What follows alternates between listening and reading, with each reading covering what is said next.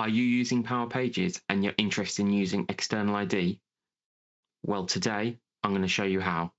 I'm Tech Tweedie. Let's get started. Share my screen. So we're over here inside of my Tech Tweedie environment. And what I'm going to do first is I'm going to create a new Power Pages site. And we're just going to pick one of these oh, other, it's fine.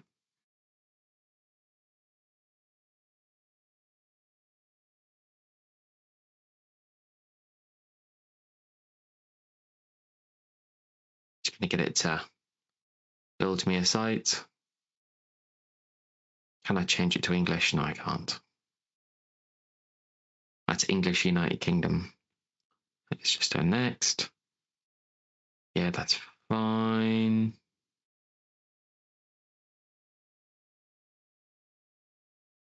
We should have a new site created.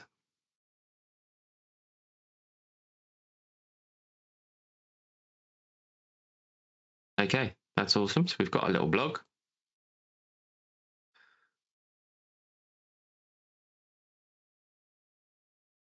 Okay, that's cool. Right, let's go and have a look at security. So inside security, we've got some identity providers.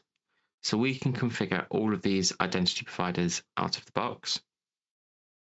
However, those of you who are familiar with Azure B2C, you can configure all of these and more under Azure B2C. So you'll then use your identity provider with Azure B2C, and then you'll go from Azure B2C into Power Pages. But today we're going to have a look at Entra External ID, and you know it might have similar capabilities. So to do that, we're just going to click on Configure. Uses OpenID Connect, which is part of OAuth. We're going to give it a name. We're going to leave it its, its current name. Go and click on next. And it's saying that we need to go across to the Entra Admin Center. So first of all, let's go and open that. Okay, so we're on our Entra screen at the moment, entra.microsoft.com, and we just need to click on Overview, and then we need to select Manage Tenants, and then we need to press this Create button. To press that Create button, you need the Tenant Creator role, we're also going to need access to an Azure subscription. And we need to put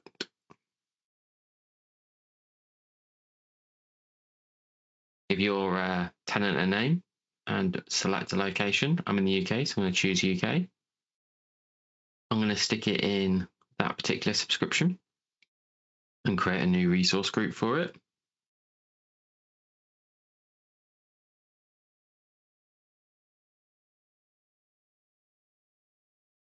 I'm going to call it external ID. There we go. And I'm going to stick that in UK South. Awesome. And then we're just going to press create. So just to confirm, we're doing an external identity. There's our name, UK. We've got a subscription for the billing. We're just going to press create. And after a few minutes, we can see our tenant has been created. That's fantastic. Let's dive back to Power Pages and see what the next step is. So we need to register our application using the reply URL below. So let's see what we need to do. Set up our external tenant, register the application. So let's see where we need to go go back to our Azure screen. Wrong one. There we go. Click here to navigate to our tenant.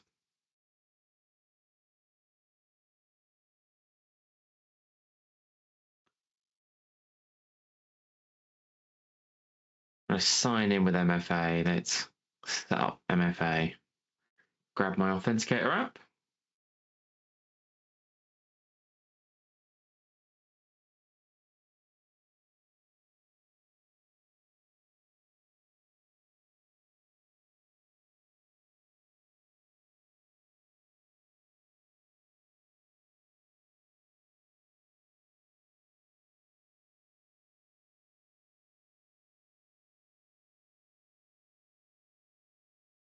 Brilliant, fantastic. So we've now managed to gain access to our Tech Tweedie external demo tenant.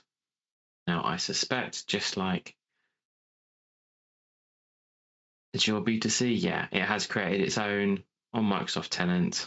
And I suspect behind the scenes, it's exactly the same as an Office 365 tenant, but obviously with all the fun bits stripped back. But let's let's see what we can do in it. So we need to register a new application. And let's call it uh, Power Pages Demo.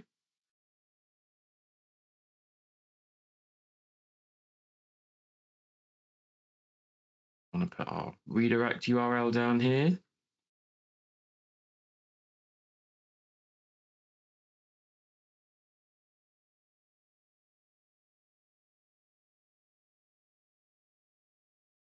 And let's just hit register.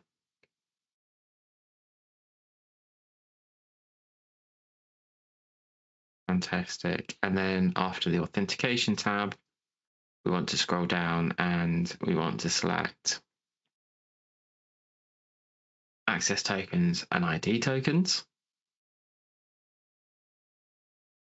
So at the moment, this is very similar to Azure B2C.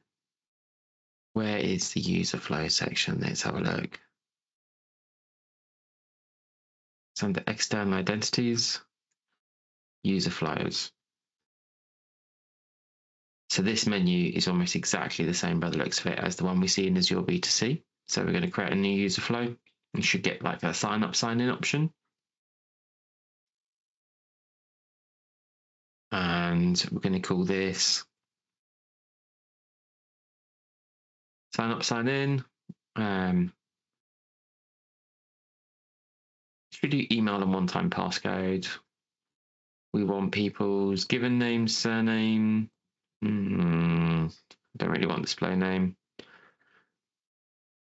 We'll also get their email address. Now, their email address is important because that's the claim that will pass across into our contact record inside of Power Pages. Let's create that.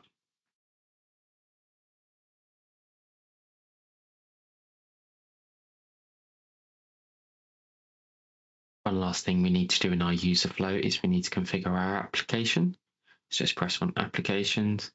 We're going to press on add, and then we're just going to add this Power Pages demo application to it. Okay, so the next thing we need to do is we need to add some of our information about our Azure B2C tenant. So client ID is the first thing. So we go back to our app registrations. Let's grab our client ID.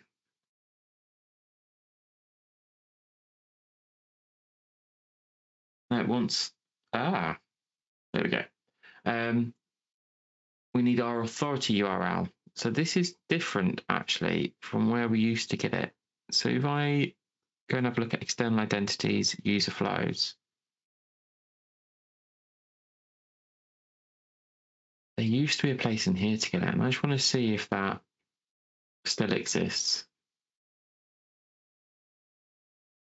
Okay. Interesting. It's going to have a look at all applications and it says endpoints. So we just want to copy our authority endpoint. Wrong screen. Paste that in. Uh, redirect URL, meta address. You can copy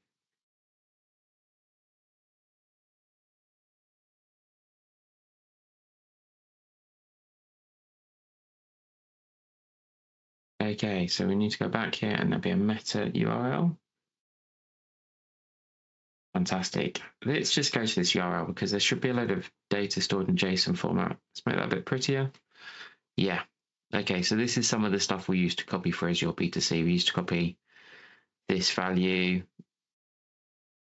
and this value issuer. They're the two we used to copy in for Azure B2C. And we used to be able to get to those through our user flow. Okay, so let's copy and paste these in.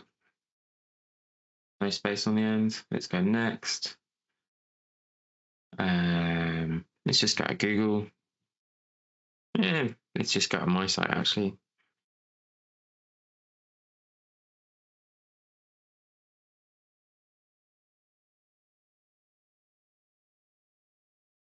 Now we just want to put our email address and things in there, but we'll we need to do um, our emails claim mapping. So let's just double check what this should be.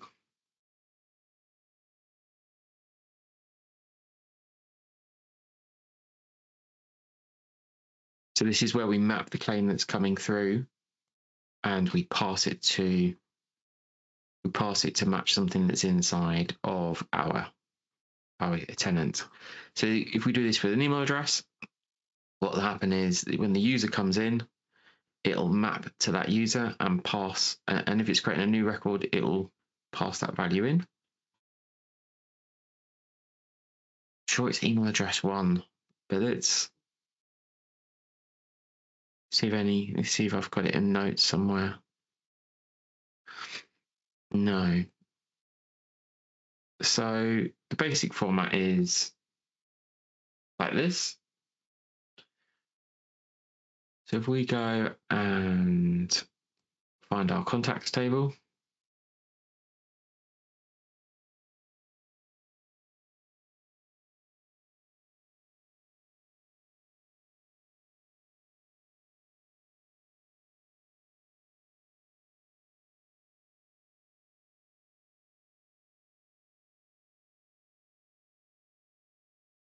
Go. And we want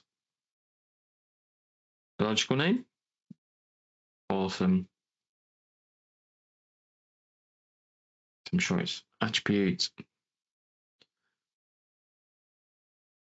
And then if we're going to have a look inside our meta, we should see what that's called. So if we go inside of here and we've got down here, we've got our supported claims, these things coming through.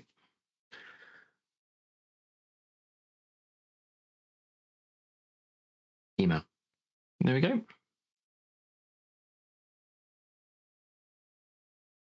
So let's go back and say that equals that. So when we register new users, that'll come through. Awesome. Let's close that off.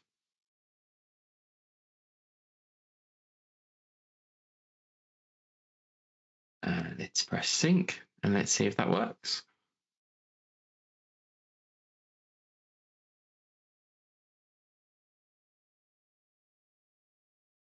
That's just because it's the first time I'm accessing that particular page. And currently it's wrapped in Azure or Entra ID authentication.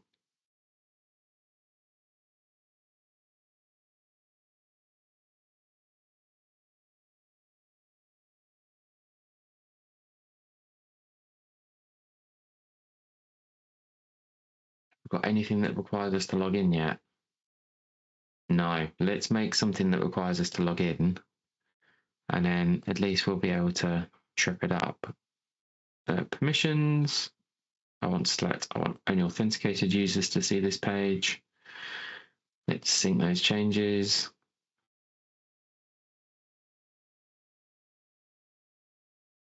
Okay, so the next step is to restart our site. So if we select it here, we go to site actions and we select to restart. Give that a few moments. We just keep refreshing. And now our Power Pages instance is restarted. We can see we have this Microsoft Entra External ID button.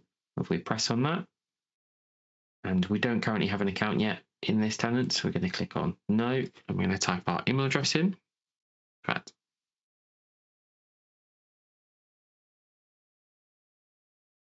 on Next. It's going to ask us for a code, so we pop across to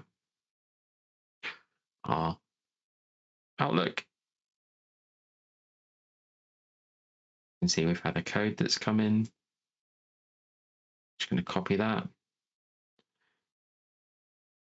And we're going to paste that in here. Asks us for our given names. So I'm going to say Ian, demo Tweedie. Just going to press on next.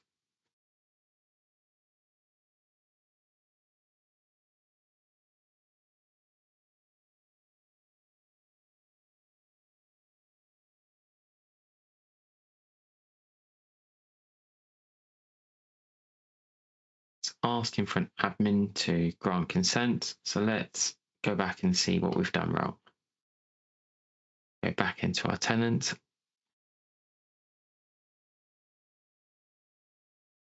And let's go to our app registrations. Let's go to Power Pages.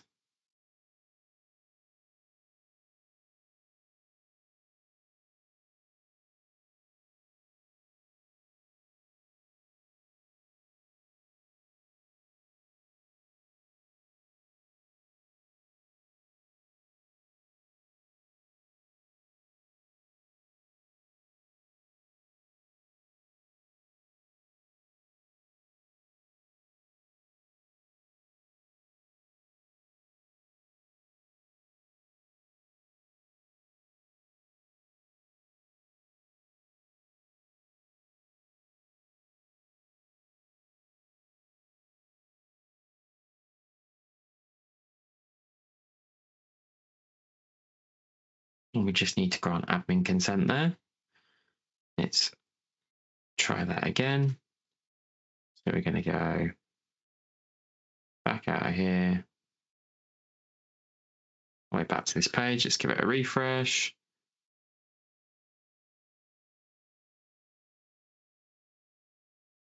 Next, we're going to grab our new code.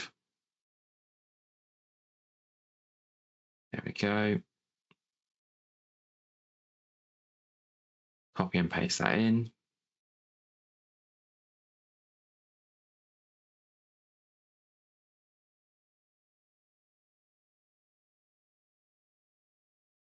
And as we can see, we've managed to successfully configure that and it's passed in our email address. It's also passed in our name, which is quite handy. We didn't configure these as claims. That's interesting.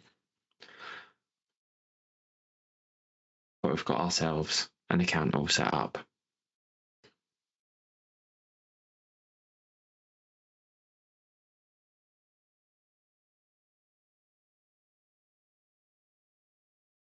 So there you have it, a very simple, quick setup fly through of how to configure Azure, not Azure, Entra external ID. If you enjoyed the video, please like, share and subscribe. Until next time, stay safe.